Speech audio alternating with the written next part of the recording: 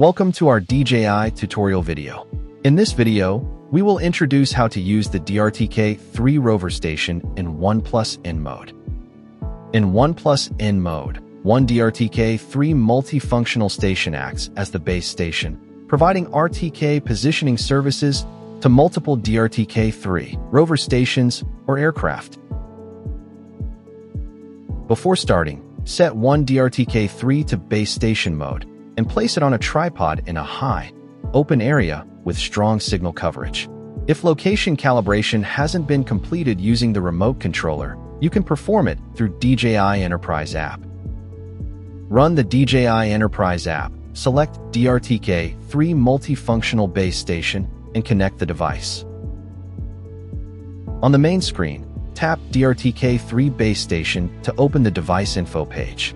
After satellite convergence is completed, tap Calibrate and choose Custom Network RTK Calibration or Manual Calibration for location calibration.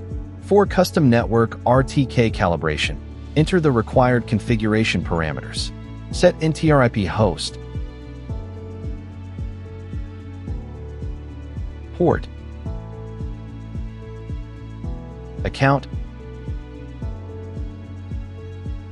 password, and mount point.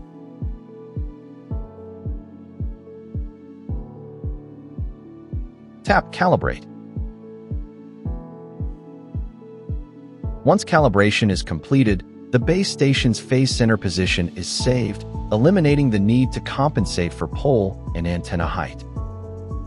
During manual calibration, the default coordinate system is WGS84. Enter the base station's longitude, latitude, and ellipsoidal height.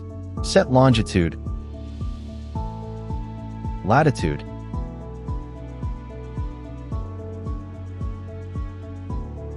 and ellipsoidal height.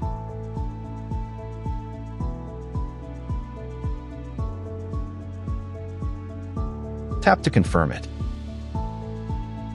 For long-term operation, the base station can be powered by a PD-compatible adapter or a portable power bank.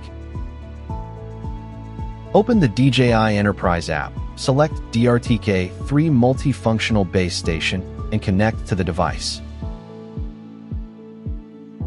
In date source configuration, select DRTK3 base station as the RTK signal source. After the device switches, search for available DRTK3 base stations and select the one to connect. Once connected, switch to the rover station interface to start adding points. Thank you for watching.